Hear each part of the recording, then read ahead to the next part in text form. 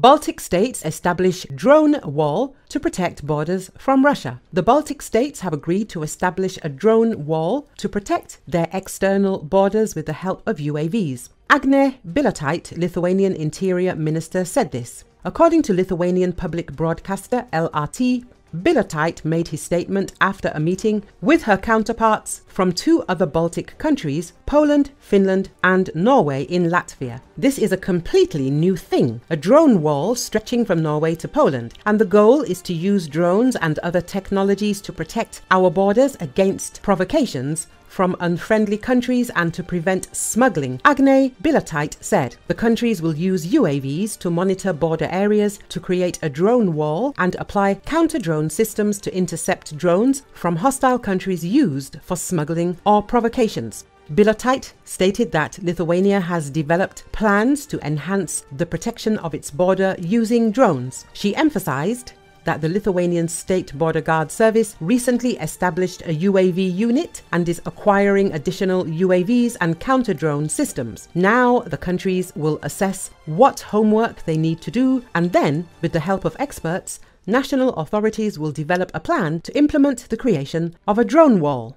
The Lithuanian minister couldn't specify when the idea would be implemented, but noted that the drone wall could be funded by the EU adding that the ministers also agreed to organize joint evacuation exercises in participating countries. We agree to hold regional drills to ensure the evacuation of the population to see how our institutions are prepared to work, to interact with each other, what our capacity is to accommodate people, what the capacity of other countries is, whether they are ready to receive a certain number of our people. The Interior Minister said, We still have a lot of questions. We need to look at all those algorithms. Drills would be very valuable as we would look at things, evaluate them, and we would strengthen our preparedness. Bilotaite added, The Baltic countries are wary of Russian aggression.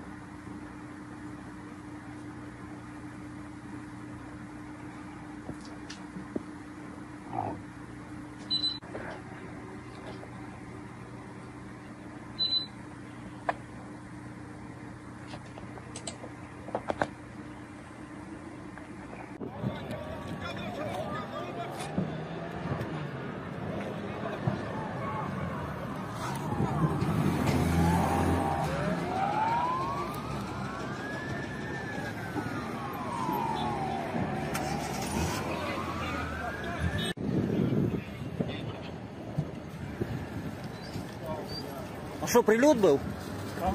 Прилет был? хлопушка, понятно.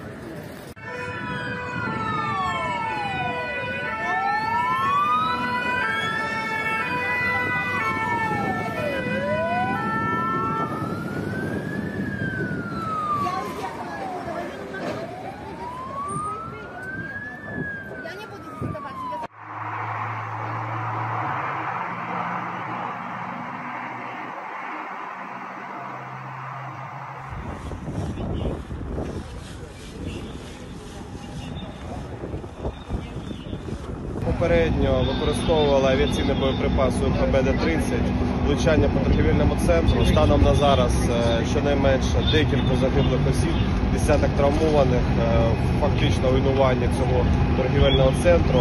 Встановлюється кількість е, травмованих осіб, відкрите кримінальне провадження за частиною 2 статті 438, це воєнний злочин, порушення законів та звичаї війни за обстріл цивільної інфраструктури.